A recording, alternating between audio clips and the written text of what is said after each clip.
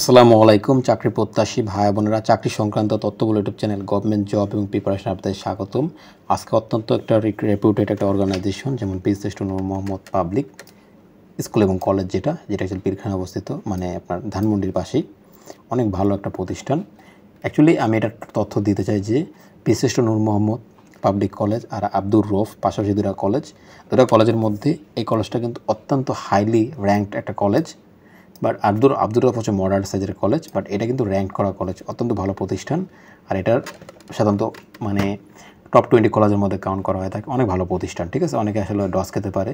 আব্দুর রফ আর নূর মোহাম্মদ কিন্তু আলাদা। এর মধ্যে নূর মোহাম্মদটা বেশি আপনার ভালো প্রতিষ্ঠান আব্দুর রফের তুলনায়। ওকে এক্ষেত্রে আপনার একটা সার্কুলার টিচারের জন্য প্রকাশিত করেন। অনেক ভালো প্রতিষ্ঠান কোনো সন্দেহ ছাড়াই।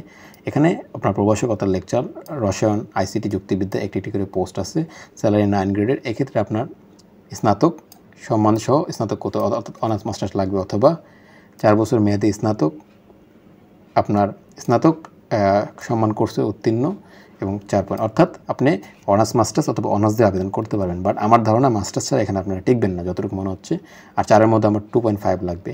রসায়ন আইসিটি শিক্ষকদের ক্ষেত্রে ইংরেজিতে পাঠদানে পারদর্শী হতে হবে। অবশ্যই আপনাকে বাংলা এবং ইংলিশ দুটোদের মধ্যে পারদর্শী থাকতে হবে। যত বেশি অভিজ্ঞ হবেন, তত বেশি আপনাকে প্রায়োরিটি দেবে। ওকে দুই নম্বর সিনিয়র শিক্ষক, শিক্ষিকা, বাংলা, ইতিহাস, সামাজিক বিজ্ঞান, একটি পোস্ট বাংলায় সামাজিক বিজ্ঞান, একটি করে আছে মোট আপনার ষোলো দশম গ্রেডের একটা বেতন স্ট্রাকচার এক্ষেত্রে আপনার ন্যূনতম স্নাতক থাকলে আপনি আবেদন করতে পারবেন।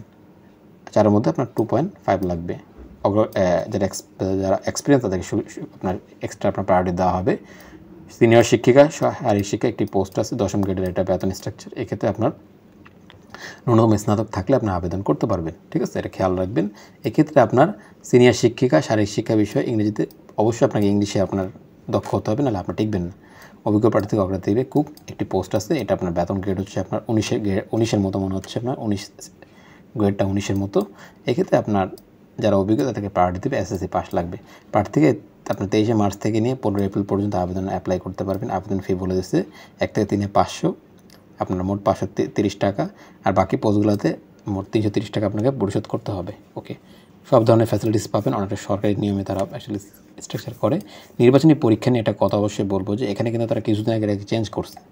আপনারা যদি দেখাই, আপনার ওয়েবসাইট দেখে নেবেন, এখানে কত লেখা আছে যে ছাব্বিশ চার, তাই না? এপ্রিল মাসের, ছাব্বিশ তারিখে। নয় তারিখ। কিন্তু কিছুদিন আগে একটা তারা সার্কুলার দেয়, সেখানে কিন্তু ডেটটা কিন্তু তারা চেঞ্জ করে দিচ্ছে। এই যে, পরীক্ষার ডেট খেয়াল রাখবেন। ওয়েবসাইটে অবশ্যই ঘাটবেন, আপনারা দেখতে পারবেন। এই দেখেন, ছাব্বিশ তারিখের পরিবর্তে আপনার বলছে যে, ছাব্বিশ তারিখের পরিবর্তে সময় অনুষ্ঠিত হবে। দেন তারিখ কিন্তু চেঞ্জ করে দিয়েছে। এগুলো দেখে নেবেন। হয়তো আপনার এস এম এস পেয়ে যাবেন, তারপরও দেখে নেবেন। ওয়েবসাইটে পাবেন। নিয়োগ পরীক্ষার প্রবেশপত্র প্রদর্শন সাপেক্ষে বিজিপি তিন চার নম্বর গেট ওখানে গেলে আপনাকে তারা পৌঁছে দিবে। আর এক ঘণ্টা পূর্বে আপনাকে যেতে হবে। নিয়োগ পরীক্ষার আসন বিন্যাস ছাব্বিশ তারিখে পাবেন। অর্থাৎ অনেকে হয় দেহ প্রতিষ্ঠানটা অনেক দূরে, একটু খেয়াল রাখবেন, পরীক্ষাটা কিন্তু একদিন তারা পিছিয়ে দিচ্ছে ঠিক আছে? তা আপনারা দেখে নেবেন নিজ দায়িত্বে, এটা আপনার দায়িত্ব কেউ নেবেন এটা খেয়াল রাখবেন।